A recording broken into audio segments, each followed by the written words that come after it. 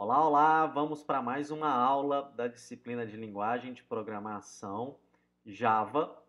E nesta aula nós implementaremos as ações dos botões cancelar, deletar e alterar do nosso projeto Agenda de Compromisso. Aqui nós já temos o nosso projeto aberto e nós vamos começar aqui implementando o botão mais simples, que seria o botão de cancelar. Então vamos clicar aqui com o botão direito, Eventos, Action, Action Performance.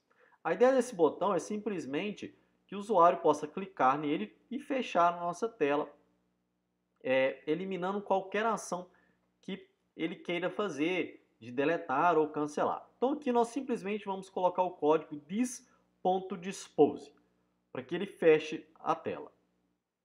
Vamos voltar aqui em Designer e vamos agora implementar o botão de deletar.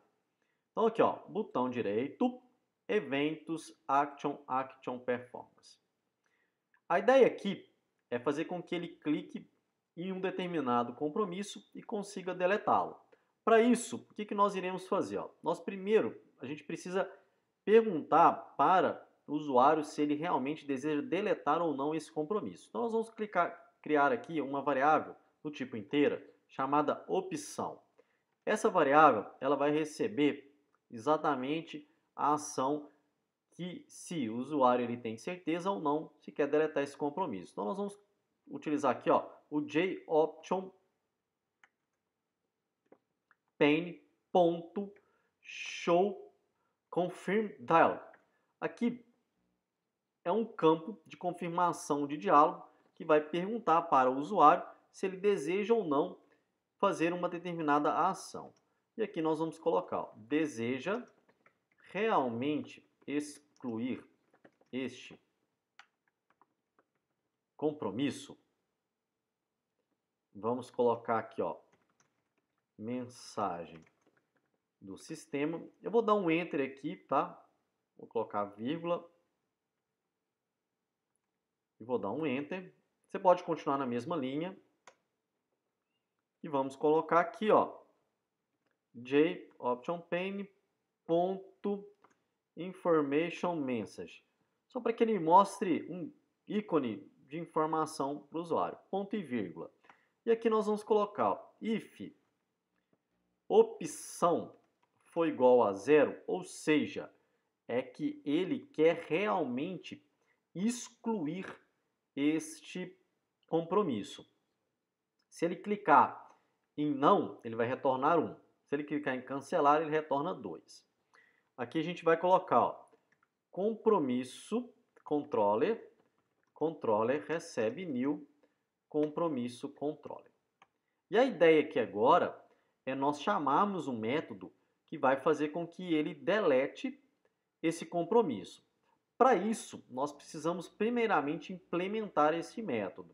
Então vamos aqui ó, em DAO, compromisso, e vamos implementar este método. Então vamos vir aqui, ó, já estamos aqui no nosso método da o compromisso. Vamos começar aqui fazendo o nosso método, então vamos lá. Public void apagar e aqui nós vamos receber o ID do compromisso, ó, int id compromisso. Primeira coisa que nós precisamos fazer, como a gente já fez nos outros, é conectar com o nosso banco de dados. A segunda coisa é criarmos a nossa sentença SQL. Nós, ó, string SQL e nós vamos colocar aqui, ó, delete from compromissos where id compromisso é igual a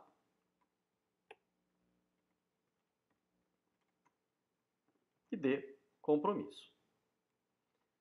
Simples assim a nossa sentença SQL. Faltou aqui um igual, deixa eu colocar aqui o igual. Feito isso, nós podemos fazer, ó, try e vamos colocar aqui, ó, comando ponto execute update nosso SQL.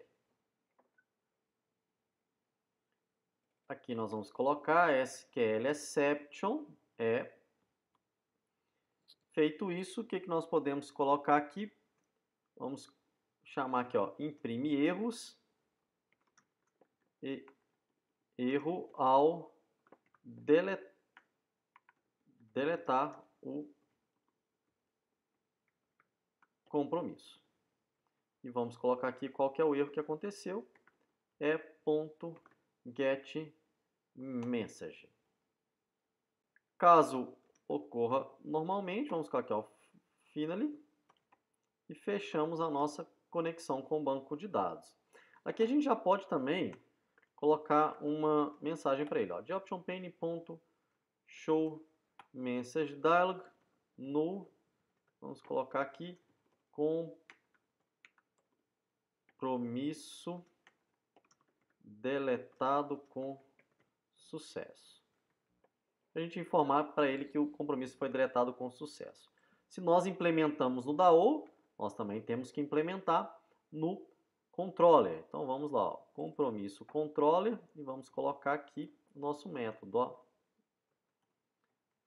E simplesmente DAO.apagar. Agora sim, ó, nós já temos o nosso controlador, o nosso método, já temos um método aqui no nosso DAO. Agora, a gente basta chamarmos esse método lá na tela compromissos. Ó. Tela compromissos. E aqui a gente vai chamar ele, ó, controller ponto apagar ID usuário. Além disso, o que, que nós precisamos fazer? Ó?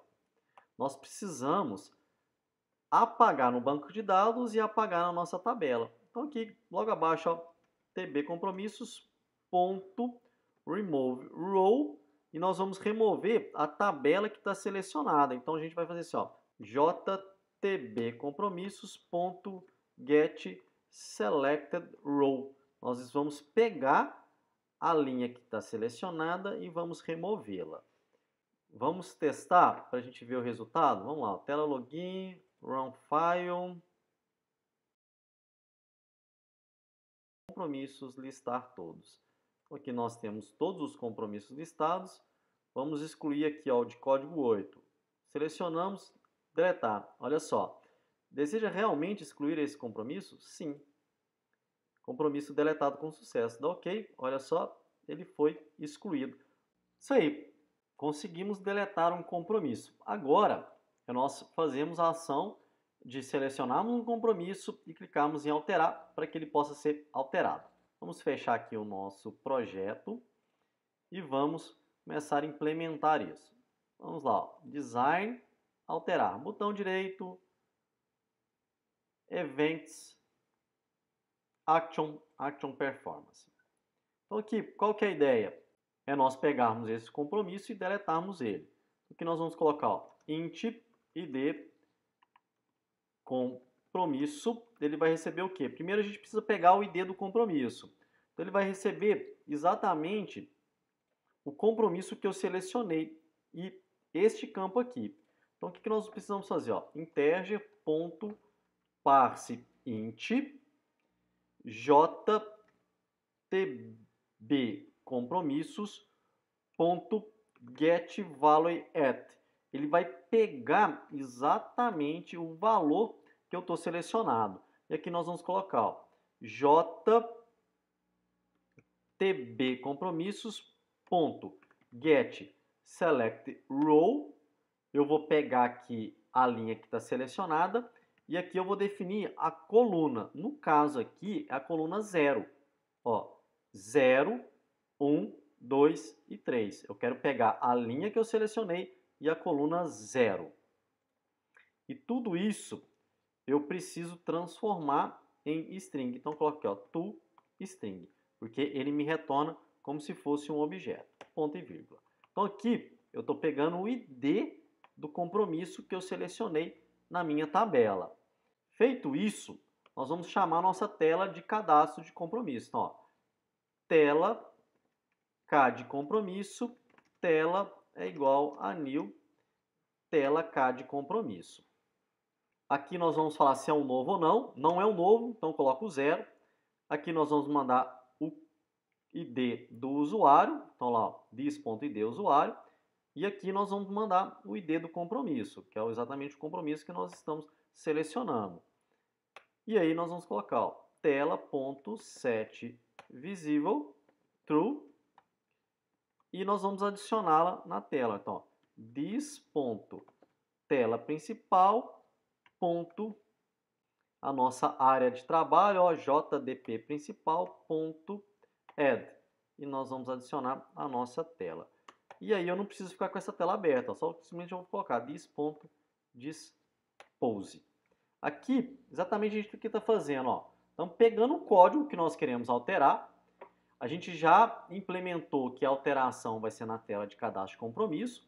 Então eu instancio essa tela, mandando para ele que eu quero agora é alterar e não adicionar um novo compromisso.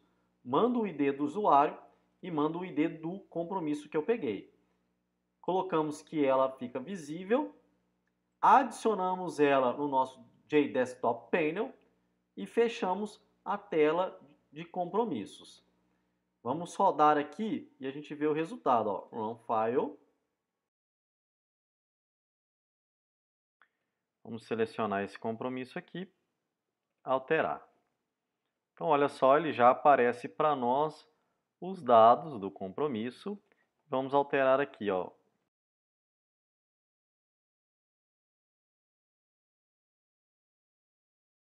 Vamos salvar. Olha só, dados do compromisso atualizados com sucesso. Vamos dar um OK agora vamos conferir se realmente alterou os dados. Ó. Compromisso, listar todos. Olha só, tá aqui, ó. Compromisso 16 do 10 do 2020, 23 e 30. Vamos clicar em alterar só para a gente ver novamente todos os dados. Olha só, alterou. Muito bem implementamos mais uma função dentro do nosso sistema. Agora, o próximo passo, nós vamos implementar um relatório. Nós vamos aprender a emitir relatórios dentro de um sistema em Java. Nós vamos ficando por aqui. Um abraço, espero que você tenha gostado e até a próxima.